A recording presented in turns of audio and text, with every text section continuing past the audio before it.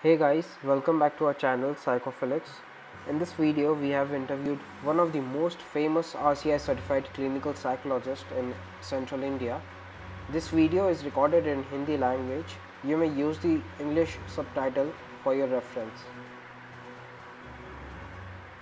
so, आज हमारे समक्ष एक सेंट्रल इंडिया के बहुत ही जाने माने R C I certified clinical psychologist है जिनका 22 इयर्स लंबा एक्सपीरियंस रहा है इन, इनका योगदान सोसाइटी में ना केवल जो मेंटल हेल्थ प्रॉब्लम्स है, उनको फाइट करने में मदद करने का रहा है, बल्कि अवेयरनेस क्रिएट करने का भी रहा है नेशनल लेवल पे।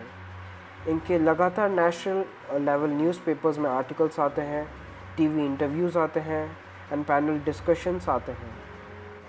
आज हम साइकोलॉजी और मेंटल हेल्थ से संबंधित प्रश्नों के जवाब ढूँढने की प्रयास करेंगे।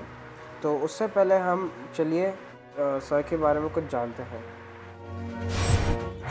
आ, मैं डॉक्टर संजीव त्रिपाठी मैं क्लिनिकल साइकोलॉजिस्ट हूँ और मैं इंदौर में आ, 2005 से अपनी सर्विसेज़ दे रहा हूँ। उससे पहले मैं और भी अलग अलग डिस्ट्रिक्ट्स में रहा हूँ जिसमें मैं मेंटल हेल्थ की फ़ील्ड में लगातार सक्रिय रहा हूँ। और यहाँ पर एक ये पहला हमारा एक सेंटर था जो ख़ास तौर पर ड्रगलेस अप्रोच के रूप में हम एक साइकोथेरेपी को हमने यहाँ पर स्थापित किया सेंटर इंडिया में साइकोथेरेपी और काउंसलिंग को, लोगों के प्रति अवेयरनेस लोगों को मेंटल हेल्थ के प्रति और साइकोथेरेपी और काउंसलिंग के लिए हमने लोगों को अवेयरनेस क्रिएट किया लोगों में। और जो स्टिग्मा था लोगों के अंदर, उस स्टिग्मा को भी हमने कई हद तक ख़त्म किया है। लोग बहुत खुल के बात कर रहे हैं और लोग हमारे पास बहुत बेझिझक होकर हमारे पास आते हैं और अपनी बात रखते हैं।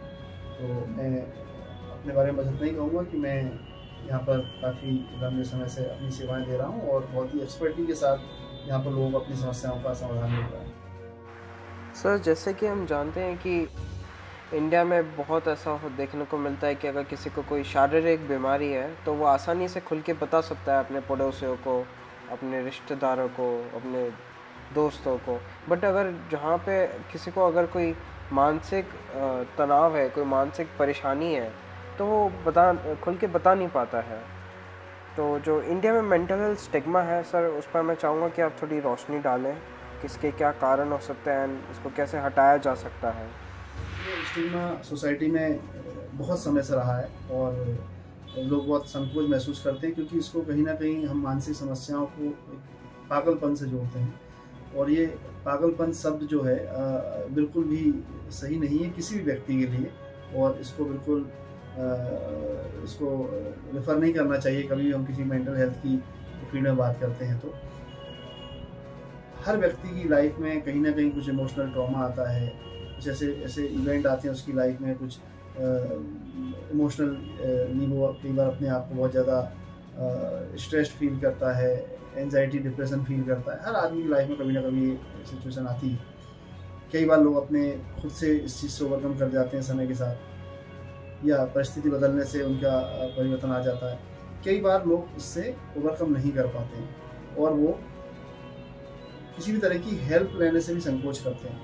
क्योंकि उनको लगता है कि शायद किसी तरह की कमज़ोरी है किसी तरह की लैकिंग है तो वो हमेशा उस उस कमज़ोरी को छुपाना चाहता है, लोगों से बताना नहीं चाहता कि मैं डिप्रेशन में हूँ एनजाइटी में हूँ, लोगों को पता चल जाएगा कि मैं किसी तरह की मेंटल हेल्थ सर्विस लेने गया, किसी प्रोफेशनल के पास गया। तो वो उस वजह से लोग लोग जनरली किसी भी मेंटल हेल्थ प्रोफेशनल के पास आने में झिझक महसूस करते हैं। ये स्टिग्मा पहले बहुत ज़्यादा था, लेकिन मैं ये ज़रूर कहूँगा कि अब ये बहुत कम हुआ है। अब लोग खुलकर आने लगे लोग अपनी बात कहने लगे अपनी समस्याएँ बता रहे हैं और लगातार अपनी समस्या के लिए साइकेट्रिस्ट से मेडिसिन ले रहे हैं क्लिनिकल साइकोलॉजिस्ट से साइकोथेरेपी और काउंसलिंग ले रहे हैं। तो अब अवेयरनेस बढ़ी है, पर अभी भी बहुत करने की ज़रूरत है। अभी स्टिग्मा बहुत अभी सोसाइटी में है जिस पर अभी और काम करने की ज़रूरत है, लोगों को और खुल के बात करनी चाहिए। किसी भी तरह का संकोच महसूस नहीं करना चाहिए। जैसे आपको कोई शारीरिक बीमारी होती है, इवन आपको कोई गंभीर शारीरिक बीमारी होती है, अगर आपको कैंसर भी हो जाता है, अगर आपको डायबिटीज़ होती है, आपको कोई हार्ट से संबंधित कोई प्रॉब्लम है, आप, आपका पड़ोसी भी जानता है सारे रिश्तेदार जानते हैं कि आपको क्या प्रॉब्लम है। लेकिन अगर आपको कभी कोई तनाव होता है, कभी कोई डिप्रेशन हो जाता है, कभी कोई जॉब में आपको कोई स्ट्रेस आया और उसकी वजह से आप किसी तरह की एनजाइटी या डिप्रेशन महसूस कर रहे हैं, आप उसको किसी को नहीं बताते। क्योंकि आपको लगता है सारी कमज़ोरी है या मुझे मुझे मेंटल डिसऑर्डर के रूप में, कि उसमें मेंटल पेशेंट के रूप में लोग जानेंगे। तो सबसे पहले तो हमको ये धारणा अपने मन से निकालनी है। जैसे शारीरिक बीमारियों का इलाज होता है, ऐसे मानसिक बीमारियों का इलाज होता है। और कई बीमारियाँ बहुत इनिशियल लेवल पर ठीक हो जाती हैं। कुछ बीमारियों में थोड़ा लंबा समय तक हमको ट्रीटमेंट लेना पड़ता है। लेकिन सभी बीमारियाँ ट्रीटेबल हैं और सभी पूरी तरह से ठीक की जा सकती हैं। तो अननेसरी हम उसकी वजह से कई बहुत हमारी सोसाइटी में हमारे परिवार में हमारे प्रोफेशन में हमको बहुत लॉस उठाना पड़ता है। आप इतने सारे ट्रोमास से अपने सारे लॉसेस से बच सकते हैं। अगर आप थोड़ी सी हिम्मत करें और आकर अपनी बात रखें अपने किसी भी एक्सपर्ट से कंसल्ट करें और अपनी समस्या का समाधान लें। ये इसमें एक बहुत अच्छा एक एक, एक पहलू है इसको आपने आपके साथ शेयर करना चाहूँगा कि आप पहले तो ये सोचें कि आप अपनी समस्याओं को किसके साथ शेयर करते हैं? या आप किसके साथ शेयर कर सकते हैं? आप अपनी समस्याओं को अपने फैमिली मेंबर के साथ शेयर करते हैं। आप अपनी समस्याओं को अपने फ्रेंड्स के साथ में शेयर करते हैं। अपने टीचर्स के साथ में शेयर करते हैं। कई बार आप नॉन लिविंग थिंग्स के साथ आप डायरी में अपनी प्रॉब्लम्स लिखते हैं। आप किसी प्लांट से बात करते हैं अपने घर के पेट से बात करते हैं। लेकिन आप बहुत ध्यान से देखेंगे तो आपको कहीं ना कहीं इन लोगों में कुछ चीज़ें मिलेंगी जो आपको लगेगा कि शायद मुझे इनसे उतना मैं खुल के बात नहीं कर पाऊँगा, क्योंकि ये या तो ट्रस्टवर्दी नहीं है, या उस चीज़, आज ट्रस्टवर्दी है, शायद कल ना रहे, आज आपका दोस्त है, कल आपका दोस्त ना रहे। दूसरा कंडीशनल होते हैं कई बार। आपके की कई बार आपके पेरेंट्स भी आपके लिए बहुत कंडीशनल होते हैं। अगर आप अच्छे नंबर ला रहे हैं, आप अच्छा कर रहे हैं तो आपके साथ बहुत अच्छे हैं, लेकिन अगर आप नहीं कर रहे हैं तो आपसे डिसअपॉइंट रहते हैं। तो आप बहुत सारी बातें, अपनी कमियाँ अपने पेरेंट्स साथ शेयर नहीं कर पाते। डायरी कल आज आपके पास है, कल हो सकती है। ऐसी बहुत सारी आप किसी ऐसे व्यक्ति से बात करते हैं या किसी नॉन लिविंग थिंग से बात करते हैं या किसी एनिमल को अपनी इमोशंस बता रहे हैं, किसी पेट को अपने बारे में अपनी बात, भावना शेयर कर रहे हैं, वो एक्सपर्ट नहीं है। आप किसी एक्सपर्ट के पास जाते हैं तो वो ट्रस्ट वर्दी होता है, आपकी बातों को पूरी तरह से कॉन्फिडेंशियल रखा जाता है मेंटल हेल्थ फ़ील्ड में। एक्सपीरियंस्ड होता है अनकंडीशनल होता है। आपको वो सारे कैरेक्टरिस्टिक उसमें मिलेंगे जो ये किसी भी व्यक्ति के साथ जब कोई आप पर्सनल बातें शेयर करते हैं तो आप एक एश्योरेंस चाहते हैं कि आपको सारी चीज़ें उसमें मिलनी चाहिए। वो सारी चीज़ें अगर आपको कहीं मिलती हैं तो वो किसी एक मेंटल हेल्थ प्रोफेशनल के पास, किसी साइकोलॉजी एक्सपर्ट के पास मिलती है। तो बिल्कुल संकोच महसूस ना करें। आपकी सारी बातों को, आपकी सारी जानकारी को गोपनीय रखा जाएगा और आप बहुत खुलकर अपनी समस्याओं को निसंकोच होकर डिस्कस कर सकते हैं, उनका समाधान पा सकते हैं। सही, आपने बहुत ही हेल्पफुल पर्सपेक्टिव प्रोवाइड किया है मेंटल हेल्थ स्टिग्मा पे। एंड इससे हम साथ मिलकर मेंटल हेल्थ स्टिग्मा को कम कर सकते हैं इंडिया में। एंड अब मैं चाहूँगा कि हम एक दूसरे टॉपिक की तरफ़ बढ़ें कि जो साइकोलॉजी की इम्पोर्टेंस है अर्ली एजुकेशन में फ़र्स्ट सेकंड स्टैंडर्ड में, वो क्या है? एंड क्या हमें जो बच्चे हैं उनको फ़र्स्ट सेकंड स्टैंडर्ड से ही साइकोलॉजी के कोर कंसेप्ट सिखाने चाहिए ताकि वो उनकी जो मेंटल हेल्थ है, उसको एक प्रोटेक्ट कर पाए, एक रेजिलेंट फैक्टर बन जाए साइकोलॉजी एंड जिससे वो उनकी साइकोलॉजिकल एंड इमोशनल वेलबींग बनाए रखें थ्रू आउट लाइफ न केवल स्टूडेंट्स के लिए, बल्कि टीचर्स के लिए पेरेंट्स के लिए, सभी के लिए साइकोलॉजी का एक, हम कह सकते हैं योगदान साइकोलॉजी का जो एक एक भूमिका है, वो बहुत महत्वपूर्ण है। और यही एक चीज़ है सोसाइटी में मुझे लगता है सबसे ज़्यादा महत्वपूर्ण है, जिसकी लैकिंग है बच्चा इवन आप फ़र्स्ट क्लास की बात कर रहे हैं, मैं बोलता हूँ कि बिल्कुल नर्सरी से जब आपका बच्चा एडमिशन के लिए जाता है तो आपको नहीं पता कि आपका बच्चा कितना कंफर्टेबल है। आप इतनी छोटी उम्र में उसको भेज रहे हैं। वो उसके साथ में कोप अप कर पाएगा, उसको एंजाइटी तो नहीं होगी, वो सोशलाइज कर कर सकता है कि नहीं कर सकता, उसके अंदर एबिलिटी है कि नहीं है। वो उसका जो डेवलपमेंट है, वो नॉर्मल हुआ है कि नहीं हुआ है? आपका उसका इंटेलिजेंस क्या है? उसका डेवलपमेंट कैसा है? उसका साइकोलॉजिकल स्किल्स जो है, उसके अंदर पूरी तरह से डेवलप हुई है कि नहीं हुई है? आपको जानना ज़रूरी है। क्योंकि तो बच्चे को अगर आप बहुत छोटी उम्र में आप किसी स्कूल में भेजते हैं नर्सरी में, हो सकता है बच्चा मेंटली प्रिपेयर ना हो। वो सेपरेशन एंजाइटी महसूस कर सकता है। वो एंजाइटी में आ सकता है, वो स्ट्रेस में आ सकता है। तो उसको कैसे हमको धीरे धीरे उस, उसके लिए उसको कंफर्टेबल करना है?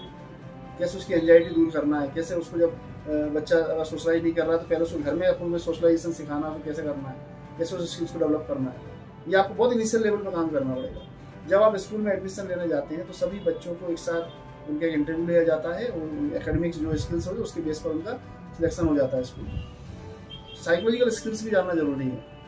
हमको उसको अलग अलग क्राइटेरिया में डिवाइड करना ज़रूरी है कि बच्चा कितना इमोशनल है, कितना क्रिएटिव है मैथ्स में कितना अच्छा है दूसरे सब्जेक्ट में राइटिंग में रीडिंग कितना अच्छा है, कोई लर्निंग डिफिकल्टी तो नहीं है स्लो लर्नर तो नहीं है बच्चा बच्चा ए तो नहीं है। ये सारी चीज़ें आइडेंटिफाई कौन करेगा? फिर बाद में बच्चों के साथ प्रॉब्लम आती है, वो स्कूल में सफ़र करते हैं। टीचर भी अवेयर नहीं होते हैं उनके साथ कैसे डील करना है। पेरेंट्स भी अवेयर नहीं होते हैं, फिर स्कूल से कंप्लेंट जाती है पेरेंट्स उनके अंदर प्रेशर बनाते हैं। जैसे बच्चे कई बार स्ट्रेस में चले जाते हैं एंजाइटी में चले जाते हैं। तो हमको बिल्कुल इनिशियल लेवल पर हमारी हायर एजुकेशन तक, आगे हम अगर और बात करें, हम करियर काउंसलिंग की बात करें करियर काउंसलिंग में भी साइकोलॉजिकल एक्सपर्ट की ज़रूरत होती है, उसमें साइकोलॉजिकल टेस्ट होते हैं, उसके बेस पर वो करियर चूज़ कर उसके लिए जो करियर सिलेक्शन किया जा रहा है, उसके लिए कितना सही है, वो आगे जाके उसमें डिफिकल्टी महसूस तो नहीं करेगा। ये सारे एस्पेक्ट जो हैं, वो कहीं, कोई अगर देता है प्रॉपर तरीके से तो वो साइकोलॉजी एक्सपर्ट्स ही देते हैं और इसकी गाइडलाइन है। लेकिन दुर्भाग्य है कि हमारे सारे स्कूल इस गाइडलाइन को फॉलो नहीं करते। कंपलसरी है साइकोलॉजिस्ट स्कूल में रखना, लेकिन सभी जगह नहीं है। तो ये सारी चीज़ें सोसाइटी में रिक्वायरमेंट है उसकी। गवर्नमेंट भी उसके लिए अवेयर हुई है, उसके लिए नॉर्म्स भी आए हैं, लेकिन अभी भी वो पूरी तरह से फॉलो नहीं हो रहे हैं। आवश्यकता तो है, हर लेवल पर है। बच्चा जब पैदा होता है, उसके बाद से लेकर जब हम, हमारी डेथ होती है, उससे पहले तक हमको साइकोलॉजी सपोर्ट की ज़रूरत है। तो साइकोलॉजी का योगदान हर आयाम में है, हर डिपार्टमेंट में है, हर लेवल पर है।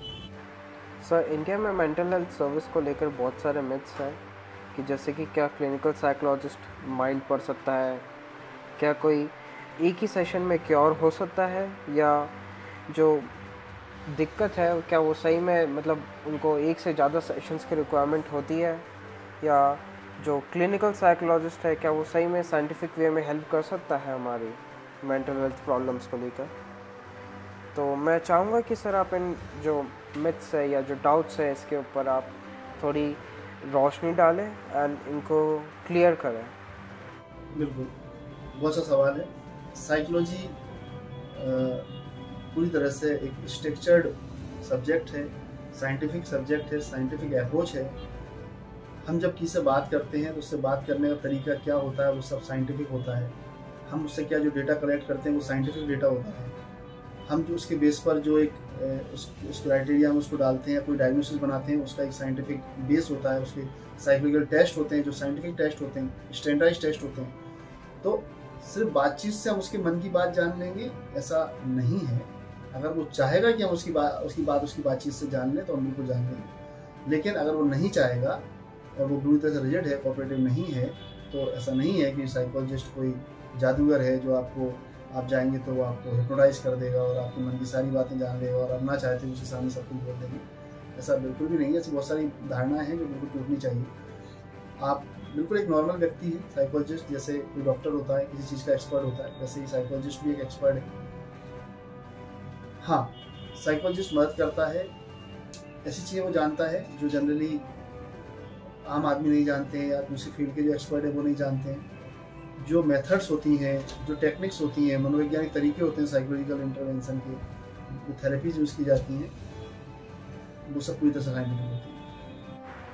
मैं अब आशा करता हूँ कि जो हमारे ऑडियंस के जो मेंटल हेल्थ स्टिग्मा पर डाउट होंगे, कि हम उसे कैसे हटा सकते हैं उसके क्या क्या कारण हैं एंड जो साइकोलॉजी की इम्पोर्टेंस है अर्ली एजुकेशन में, वो क्या है एंड जो जो बहुत सारे मिथ्स है क्लिनिकल साइकोलॉजिस्ट को लेकर, वो क्लियर हो गए होंगे। सर मैं आपको धन्यवाद कहना चाहूँगा कि आपके प्रेशियस समय के लिए एंड आपने जो अपनी एक्सपर्टीज से जो जवाब दिए, सवालों के जो हमारे जो डाउट्स है, वो मिटाए। उसके लिए आपको दिल से हार्दिक धन्यवाद।